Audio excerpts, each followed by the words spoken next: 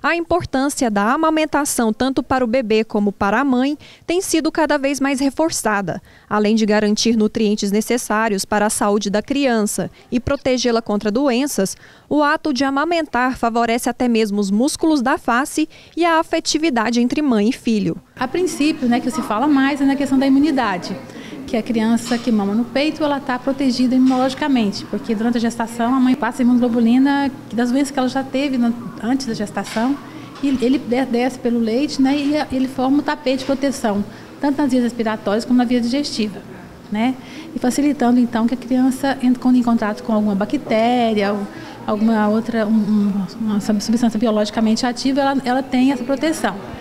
Também na questão do, da proteção contra alergias, porque o leite sendo da espécie humana para a espécie humana, então ele, tá, ele cabe direitinho na programação metabólica da criança, entendeu? E aí, é, além desse, né, tem também o fator mecânico, que a criança quando está mamando, ela desenvolve musculatura boa, que mantém a postura dos dentes adequada, né?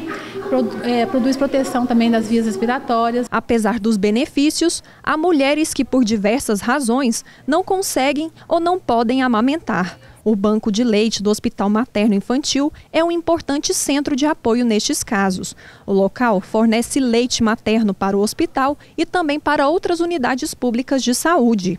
Porém, os estoques atuais estão bem abaixo da demanda. O banco, que já chegou a ter 400 litros de leite, hoje armazena uma média de 100 litros por mês, o que está longe do ideal. Nós temos em média 100 litros de leite humano congelado, pasteurizado, e eu consigo atender apenas a UTI neonatal e a unidade de cuidado intermediário neonatal do próprio Hospital Materno Infantil.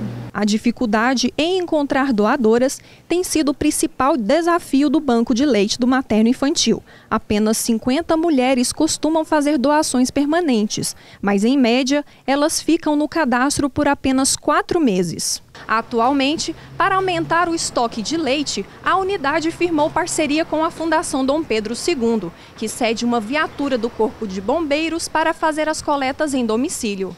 Para se tornar uma doadora, a mulher deve fazer um cadastro no Hospital Materno Infantil. Ela não pode ser fumante e nem usuária de drogas e deve apresentar exames médicos.